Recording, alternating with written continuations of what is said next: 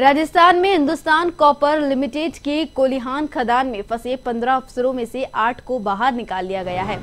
पहले राउंड में बुधवार सुबह करीब सात बजे तीन लोग निकाले गए थे, जिन्हें जयपुर रेफर कर दिया गया था। दूसरे राउंड में सुबह करीब नौ बजकर दस मिनट पर पाँच लोगों को बाहर निकाला गया है। सभी की स्थिति ठीक है। रेस्क्यू में लगे अधिकारियों का कहना है कि सात लोगों को भी जल्द ही बाहर निकाल लिया जाएगा। मंगलवार शाम हुए हादसे में पंद्रह अधिकारी फंस गए थे। नीमका थाना ज़िले के इस खदान में अठारह सौ पचहत्तर फीट की गहराई में लिफ्ट की चेन टूट गई थी। अंदर फंसे लोगों के लिए रात में दवाइयाँ और फ़ूड पैकेट भी भेजे गए। वहीं एंबुलेंस और डॉक्टर्स की टीमों को भी रात में अलर्ट मोड पर रखा गया था।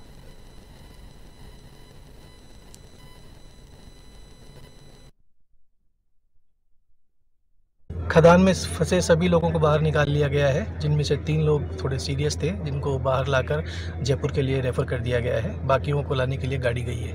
मेरे पैरों में फ्रैक्चर है किसी के हाथ में फ्रैक्चर है। बाकी सब सेफ़ है।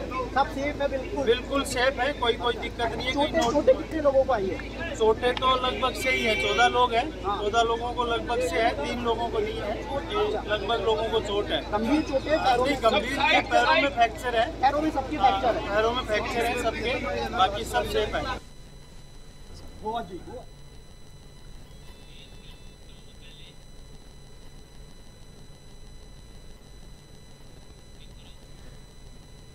बता दें कि नीमका थाना के खेतड़ी माइंस में जो है कल देर रात बड़ा हादसा हो गया था, जिसमें पंद्रह अधिकारी जो है, इस बीच लिफ्ट में फंस गए थे। बता दें कि लिफ्ट की चेन टूटने से ये बड़ा हादसा हुआ है, जो कि अट्ठारह की गहराई फीट के अंदर जो है, ये लिफ्ट फंस गई थी, जिसके बाद रेस्क्यू ऑपरेशन लगातार चलाया जा रहा था।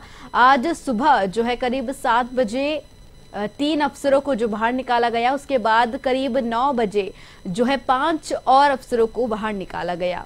बाकियों के लिए जो है लगातार जो है ऑपरेशन चल रहा है, जिनके भी आने की जल्द ही संभावना जताई गई है।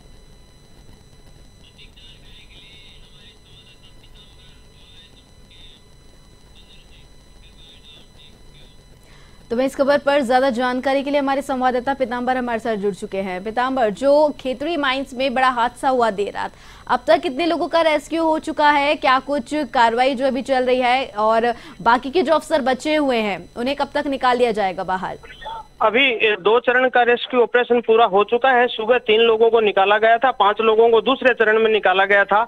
अभी तीसरा चरण शुरुआत हुई है, एंबुलेंस गेट पर लगाई जा चुकी है। अब कितने लोग बाहर आते हैं वो देखना पड़ेगा कि उनकी कितनी इंजरी हुई है वो एंबुलेंस गेट पर तैयार है।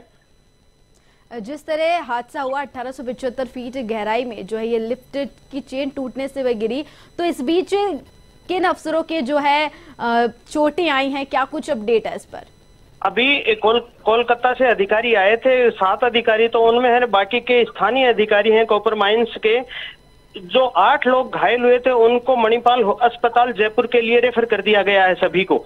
उनके गंभीर चोटें हैं किसी का हाथ और किसी के पाँव में फ्रैक्चर है। बाकी अब तीसरे चरण के लिए अभी एंबुलेंस गेट पर तैयार है। अभी कुछ ही सेकंड बाद तीसरे चरण में कितने लोग बाहर आ पाते हैं ये देखने वाली बात होगी।